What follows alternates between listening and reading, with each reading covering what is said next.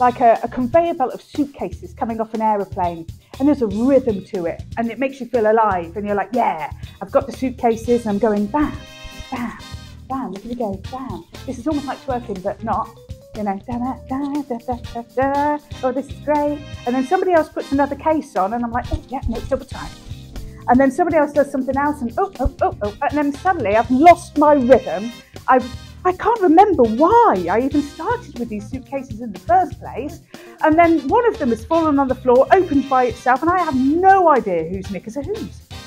But I, it's clearly my problem, and I have to sort it all out. And then before you know it, you're kind of like all of it, and then you're sort of sat on the floor in amongst other people's underwear.